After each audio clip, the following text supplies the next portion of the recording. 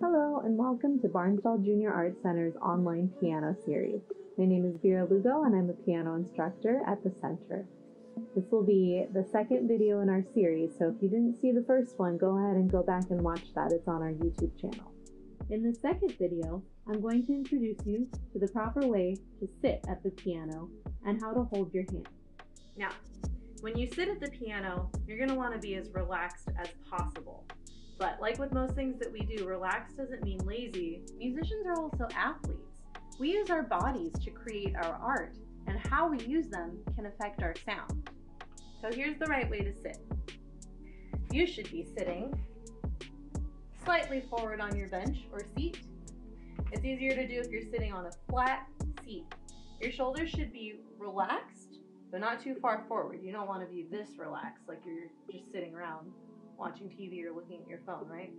But you should have an upright posture like this.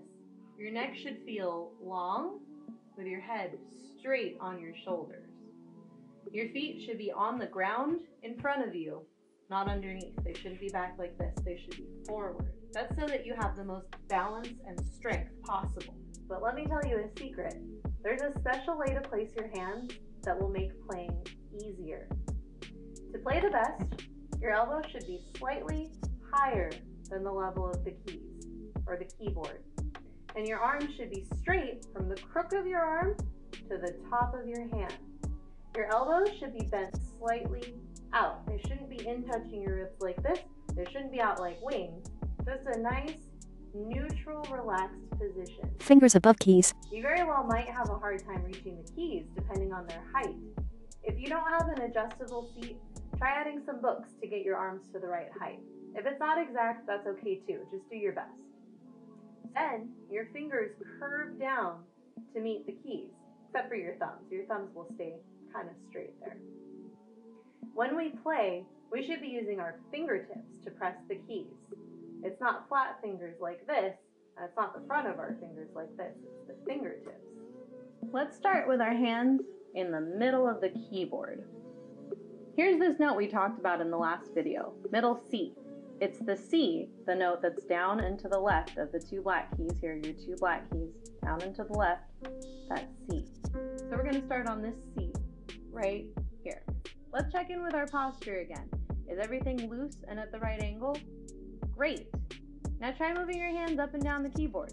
Slides hand. Now I'm gonna play one of my favorite songs for you. I'm gonna play it with correct posture and hand position.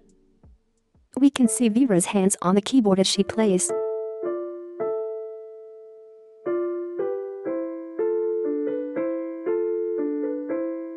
She sits up straight, but also moves a little bit with the music, swaying forward and back.